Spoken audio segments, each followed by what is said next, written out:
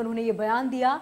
सपा प्रमुख अखिलेश यादव पर जमकर निशाना साधा और कहा कि राज्य मंत्री रविकांत ने बबुआ अब लबुआ हो चुके हैं। राजनीति करने वाले देश के विकास के लिए नहीं है सही। अखिलेश यादव के द्वारा किए गए ट्वीट का उन्होंने जवाब दिया।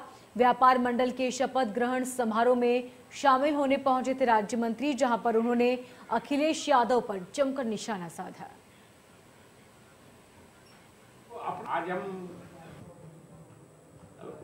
राजा विराट की जैसे ऐतिहासिक नगरी में व्यापारियों को जगाने, व्यापारियों को संगठित करने, व्यापारियों की समस्याओं को, कठिनाइयों को समझने, उस पिछले क्षेत्र में कैसे औद्योगिक और व्यापारिक विकास हो और उसके माध्यम से लोग स्वरोजगार और स्वदेशी के माध्यम से आत्मनिर्भर भारत अभियान में सम्मिलित हो और उसको अपना अभियान बनाए, जिसके माध्यम से वो नौकरी करने वाले नहीं, बुंदेलखंड के लोग नौकरी करने के लिए बाहर जाते हैं।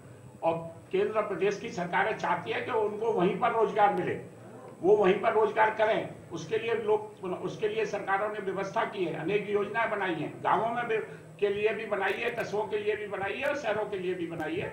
और तो इस, विराट की पावन नगरी में कोई बेरोजगार ना रहे और व्यापारी जो समस्या आपने अभी उल्लेख किया, वो वैसी कोई समस्या उत्पन्न ना हो, उसकी दृष्टि से आज हम प्रदेश अध्यक्ष जी के साथ और जिलाध्यक्ष और नगर अध्यक्ष जी के साथ यहाँ पर आए हैं।